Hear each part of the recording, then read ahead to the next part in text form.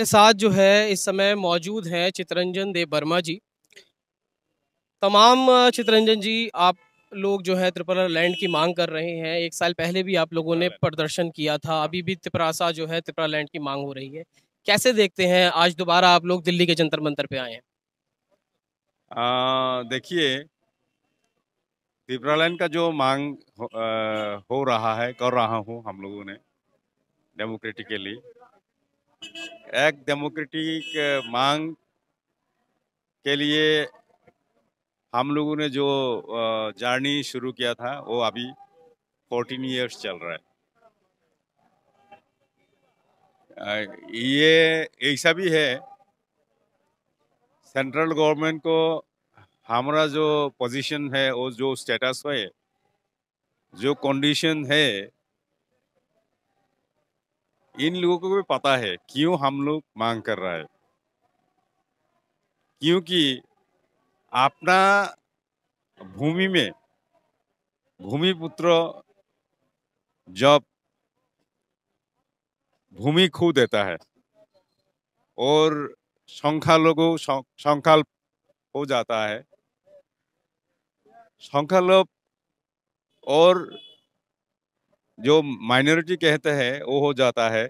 सिर्फ़ होने से नहीं होता है। जैसे कि आप लोग ने देखा है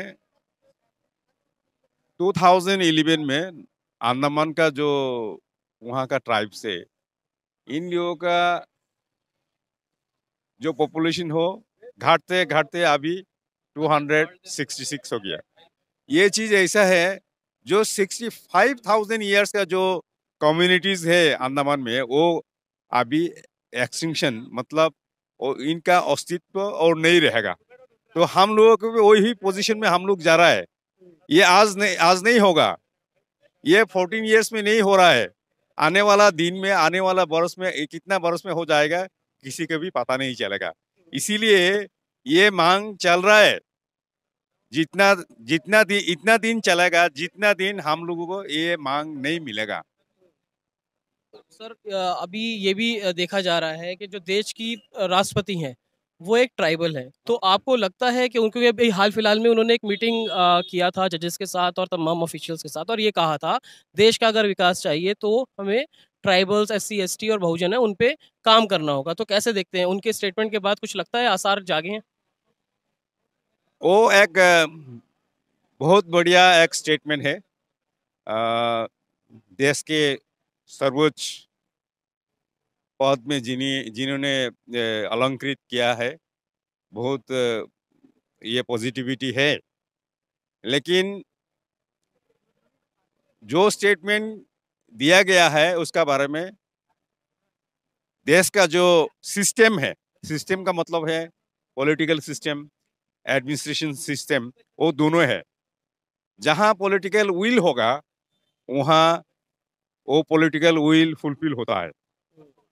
तो ये राष्ट्रपति जी ने जिस स्टेटमेंट को दिए है, इसका असर और इसका इफ़ेक्ट तभी देखा जाएगा जो पॉलिटिकल एडमिनिस्ट्रेशन जो लोग पॉलिटिकल पावर में है, इन लोगों का पॉलिटिकल पावर और पॉलिटिकल विल कितना तक है। क्योंकि अभी जो है स्टेट मंच से जो बुबागरा जी उन्होंने कहा कि अगर सरकार नहीं मानती क्योंकि सालों से हम इसकी लड़ाई लड़ रहे हैं अगर सरकार नहीं मानती है तो आने वाले चुनावों में हम इसका जवाब देंगे।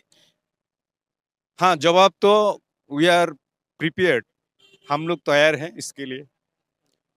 वो चुनाव में देखा जाएगा। क्योंकि इस बार जो है आप लोगों ने अपनी एक पार्टी बनाई और वहाँ से आप लोगों ने जीत हासिल करी है।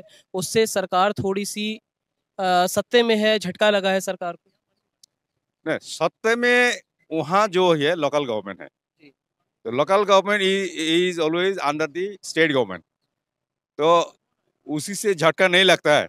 झटका लगेगा अभी स्टेट गवर्नमेंट मतलब त्रिपुरा लेजिस्लेटिव असेंबली का जो चुनाव होने जा रहा है वहाँ में झटका लगेगा। क्या संदेश आप अंत में देना चाहेंगे त्रिपुरा गवर्नमेंट को और त्रिपुरा वासियों को?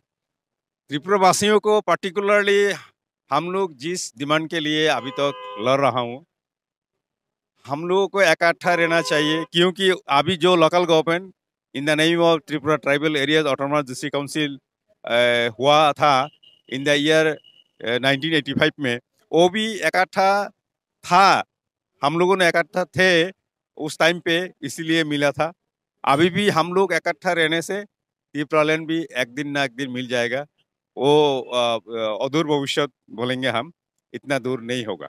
बहुत बहुत शुक्रिया सर थैंक यू तो मेरे साथ थे चितरंजन देव वर्मा जी जो कि एग्जीक्यूटिव मेंबर हैं त्रिप्रासा के और काउंसिल के अंदर तमाम जो उन्होंने समस्याएँ बताई और समाधान भी एक तरह से बताया कि जो लोग हैं उनको एकजुट रहना होगा तभी कुछ हासिल हो पाएगा। क्या सोचते हैं आप? क्या है आपकी राय? कमेंट द्वारा अपने विचार हमसे आप साझा कर सकते हैं। अगली अपडेट के साथ आपके सामने फिर प्रस्तुत होंगे। नमस्कार। सब्सक्राइब करें हमारे यूट्यूब चैनल को और बने रहें हमारे साथ।